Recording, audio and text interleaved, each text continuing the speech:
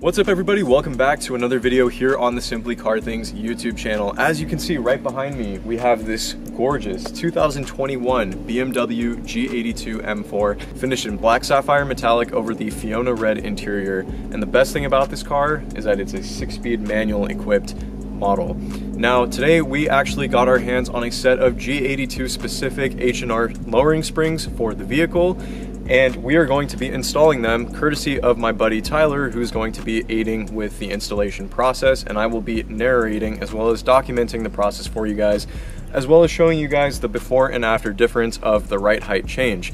Now the only modification that has been done to this car if you'll even consider it a mod, is wheel spacers. Unfortunately, I do not know the specific size of the wheel spacers off the top of my head, but if you are curious, I will have them listed in the description box down below when I go in to edit this video. Now with all that being said guys, please make sure to go ahead and leave a thumbs up on this video as well as subscribe to the channel down below if you have not done so already. And let's not waste any more time and let's dive right into this install. Alrighty, so the first and most obvious step when performing the install of the H&R lowering springs is to remove the wheels and tires off the vehicle. So you have five 17 millimeter lug bolts, which are going to be taken off. Next, we're going to be using an E10 female Torx bit to remove that sensor that is attached to the strut. And then following that, we're going to be using a 16 millimeter socket to remove the nut that attaches the sway bar end link to the front strut as well. And from there, you can go ahead and detach the sway bar end link. Next up, we're going to move to the top of the engine bay where you're going to see a bunch of pop tabs. Uh, here, Tyler's using this handy little tool that just easily allows them to just come right off, and you're going to be able to take the plastic cover off. There's also going to be another like locking plastic tab. You just twist it, uh, basically counterclockwise to unlock it, and it's even labeled. Uh, you'll see like when you're going to install it on your own car, and the plastic covers will basically just pop right off.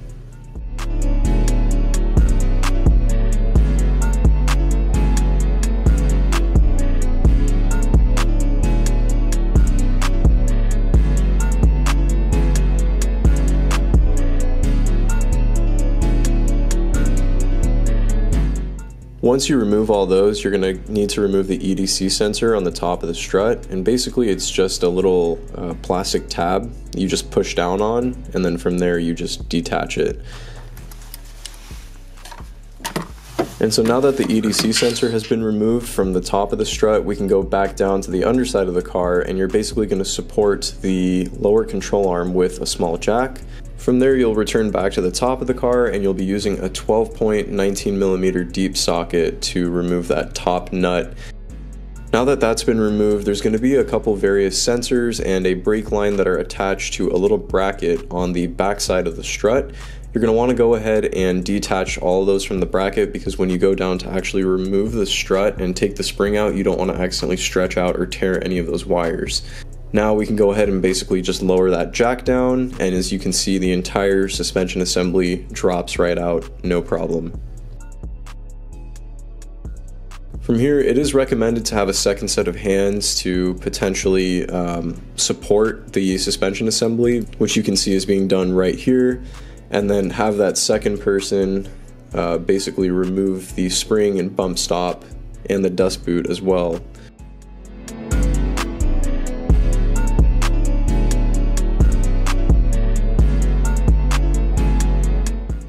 Now here we have our H&R lowering springs. Just going to do, be doing a quick little unboxing of them for you guys. It's a pretty nice kit overall, nothing too special or crazy, but H&R I would say is a, a, pretty high quality, you know, street suspension brand and everything is made in Germany and they have a pretty good reputation overall.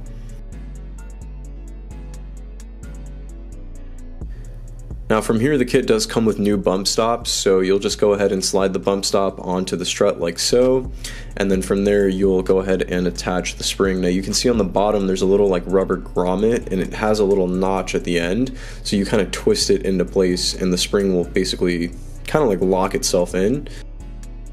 And then from there you'll go ahead and reuse the OEM dust cover which slides right over the new bump stop and will also sit on top of the spring. It has like a little notched end as well, so everything kind of fits into place nicely.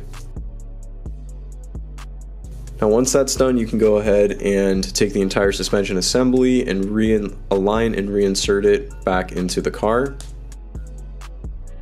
It'll be a combination of wiggling it back into the top as well as raising the jack once again from the bottom to sort of lift the suspension assembly back into the strut tower.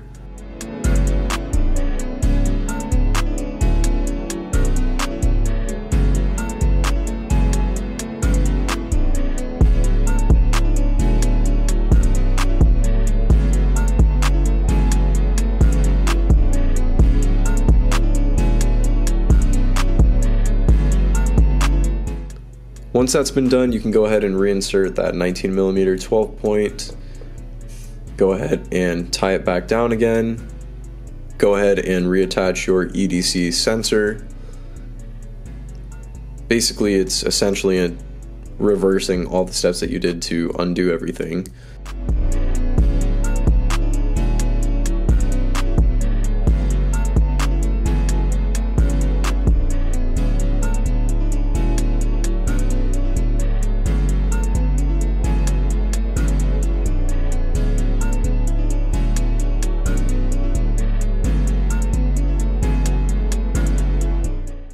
Reattach the various plastic liners and covers, which are fastened either by those pop tabs or, like I had mentioned previously, there's a little twist tab that's already on the plastic piece and it's labeled. Um, you just put it back on, you twist it to lock it, and like I said, it's labeled so you know which position is locked and which position is unlocked.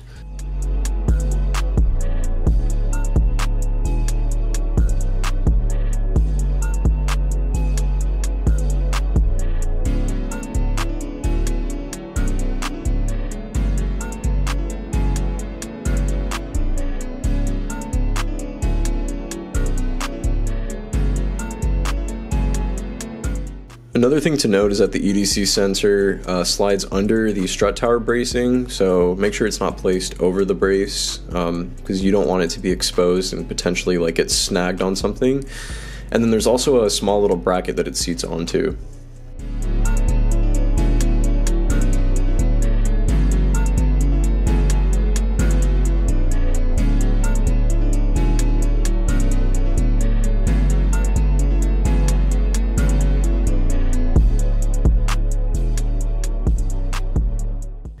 After using the jack to lower the suspension assembly, you can see Tyler right here is just readjusting the bump stop and the dust boot just to make sure that everything is seated properly. And you can also at this point realign the sway bar end link back to the front strut and then go ahead and reattach the nut via the 16 millimeter socket.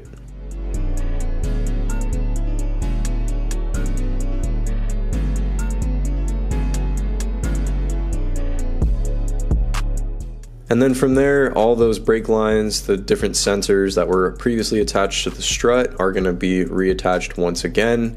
And you're going to attach everything to that little bracket uh, that kind of sits behind. It's kind of hard to pick it up on camera because it's literally on the opposite end of the strut, but you'll see when you end up going down there to work on the car for yourself. Unfortunately, guys, I could not find the official torque specs anywhere uh, for the suspension components on the G80 or the G82. I think that's just dealer info that you would probably have to contact the dealer for, or maybe it's in the owner's manual for the car somewhere. Um, but in terms of just searching online, I think the platform is just a little bit too new at the moment where any of the torque specs are listed.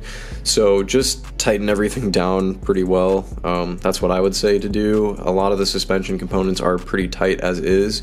So, you know, just give them a good, a good tightening and I, I think you should be fine.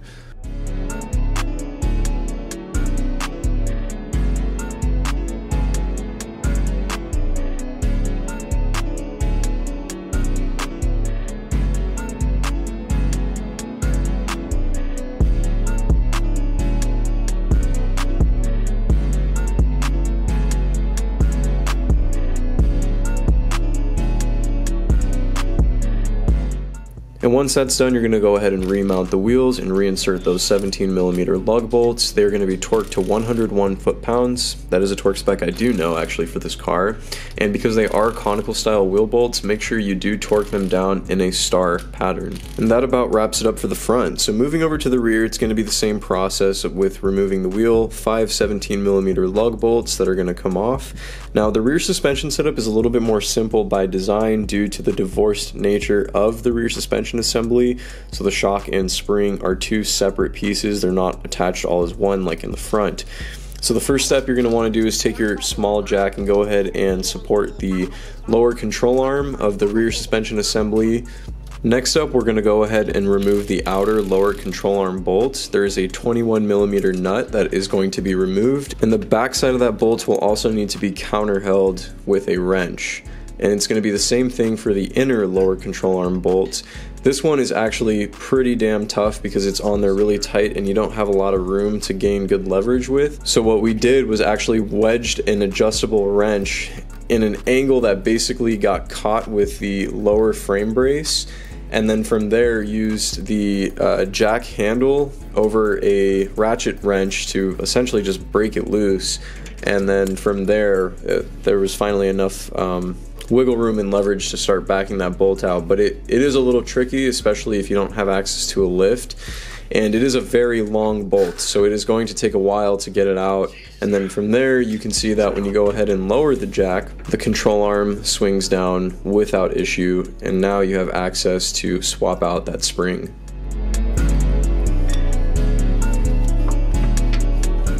Now from here, go ahead and just change out the little mount on the lower and upper portion of the spring. You're just swapping everything over.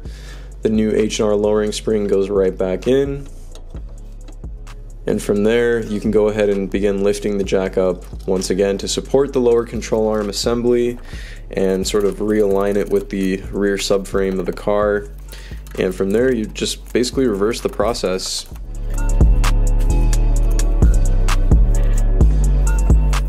Getting that inner lower control arm bolt to fit can be a little bit tricky because the clearance when you're lining up the lower control arm with the rear subframe can be a bit difficult. So you're going to use a combination of the jack along with like a flathead screwdriver or something to really just kind of play around and wiggle it. But once it's in, you can kind of tap it with a mallet and, and once it's in, it's in. And then from there, you can go ahead and tighten everything down.